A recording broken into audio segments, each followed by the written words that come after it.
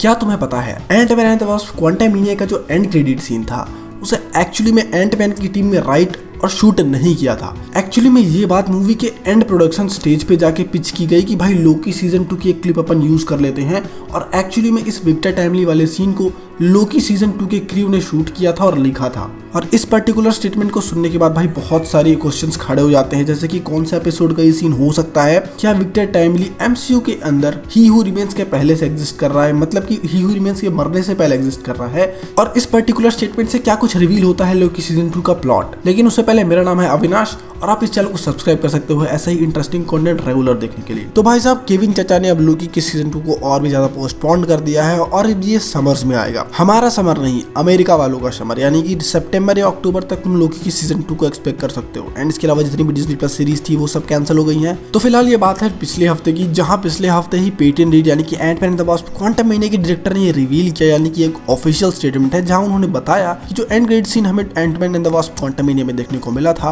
वो उन लोगों ने डिसाइड या शूट नहीं किया था। Actually Ant Man and the Quantum के लास्ट के प्रोडक्शन स्टेजेस पे लोकी सीज़न टू के क्रिएटिव टीम ने उन्हें सजेस्ट किया कि वो लोग लोकी सीज़न टू का कोई भी क्लिप एंड क्रेडिट सीन्स में यूज़ कर सकते हैं एंड फाइनली उन्होंने इस डिसीज़न को एग्री किया और मूवी में हमें विक्टर टाइमली का एक सीन देखने को मिला। एक्चुअली में पेटन रीड ने ऑफिशियली ये कंफर्म कर दिया है कि भाई जो सीन हमें देखने को मिला एंड क्रेडिट्स में, वो एक्चुअली में लोकी सीज़न टू का है। अब उन्होंने ये नहीं बताया कि कौन से एपिसोड का सीन है, क्योंकि वो एक मेजर स्पॉयर हो सकता था उनके अकॉर्डिंग पर फिर हम किसके लिए बैठे हैं भाई। हम जॉब छोड़ दे क्या? हम डिकोड करने के लिए ही तो बैठे हैं। तो देखो, मेरे अकॉर्डिंग हो सकता है कि लोकी के सीज़न टू का पहला या फिर दूसरा एपिसोड हो। क्योंकि जिस तरह की हाइप इस एंड क्रेडिट सीन के अंदर बनाई जा रही है, वो सिर्फ़ स्टार्टिंग के बिल्डअप के लिए यूज़ की जाती है। अब यहाँ पे मोबियस को भी विक्टर टाइमली का कोई भी आइडिया नहीं है सिर्फ़ लोकी को आइडिया है जिसे साफ़ पता चलता है कि भाई जहाँ से लोकी का सीज़न वन खत्म हुआ था वहीं से सीज़न टू स्टार्ट होगा। यानी कि जब सेल्वी कैंग को मार देती है और लोकी को वहाँ से भगा देती है वापस टीवी के अंदर तो, तो टीवी के अंदर बहुत कुछ चेंज हो जाता है। जैसे कि टाइम कीपर्स का स्टैचू जहाँ पहले बना हुआ था अब वहाँ किसी कैंग वेरियंट का स्टैचू बना हुआ है एंड मोबियस लोगों को लोकी के बारे में कुछ भी याद नहीं है। तो इससे ये बात तो साफ़ पता चल जाती है कि भाई लोकी का सीज़न जहाँ से खत्म हुआ था वहीं से सीज़न टू स्टार्ट हो रहा है यानी कि इस विक्टर टाइमली वाले सीन से। तो इवेंचुअली ये पहले एपिसोड या फिर दूसरे एपिसोड में भी ये सीन देखने को मिल जाएगा। अब हाँ अगर मार्वल वाले इस सीन को काट ना दे पूरे सीरीज़ से, हालाँकि काटने वाला काम तो वर्नर ब्रूस का है ना? कुछ पूछा? पूछा मैंने कुछ?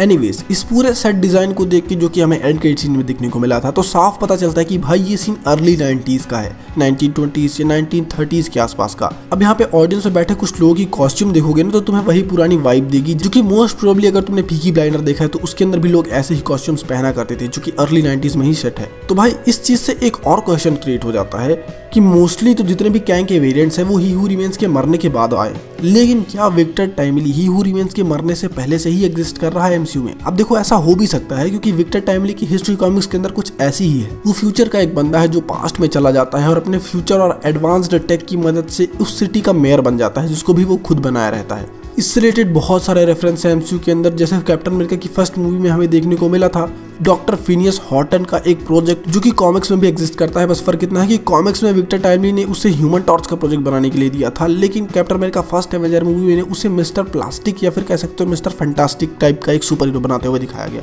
अब देखो विक्टर टाइमली की कॉमिक ऑरिजिन ही ऐसी है कि अपन इस बारे में कुछ क्लियर नहीं कह सकते कि भाई हीवू रिमेंस के साथ साथ ही विक्टर टाइमली भी रह रहा था क्या ओरिजिनल टाइमलाइन के अंदर? एंड सिंस विक्टर टाइमली को ज़्यादा एक्सपोजर नहीं मिला है कॉमिक्स के अंदर, बहुत कम ही दिखाया गया इसको कॉमिक्स में तो ये काफ़ी मिस्टीरियस कैरेक्टर बन जाता है, जिसके बारे में ज़्यादा नॉलेज किसी को भी नहीं है।